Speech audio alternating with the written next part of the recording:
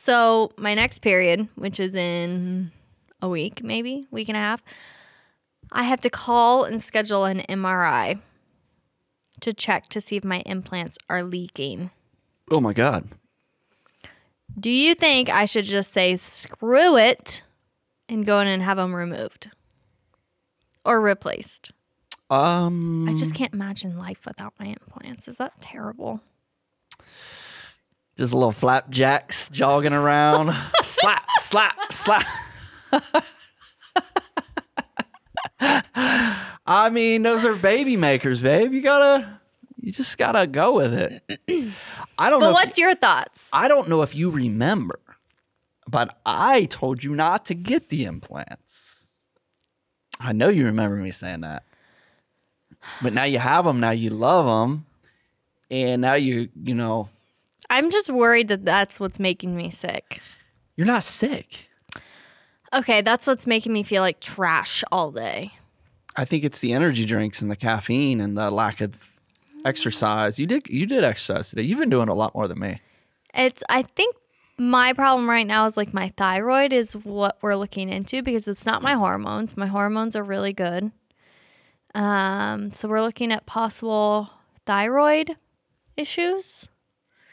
Um, but the one like- doctor, the two doctors I saw literally said it's your implants, get them removed. I, I'm for whatever makes you feel better. Like I don't care. Like, should I just go in and have them taken out and see if I feel better? Like, my hair is literally not growing anymore. It's just breaking away. okay, I'm asking you a serious question. We need to have. I'm not saying you're old at all.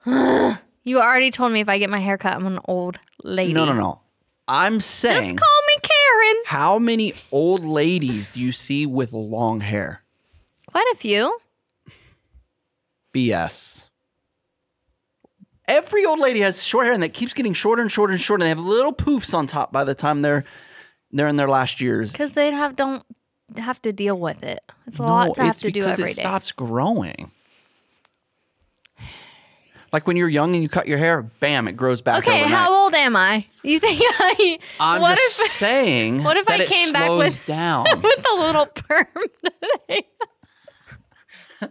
oh, I you were sending me haircuts. I'm like, oh my God, stop. I should have came back with a wig that was like an old lady perm.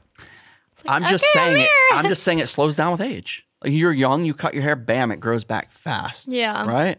And then over time it slowly grows out. until because your health is your health is deteriorating. You have health issues as you get older. So I'm saying the shorter you cut it now, the longer it's gonna take to grow out, or not grow out at all. You've hit the point of no return.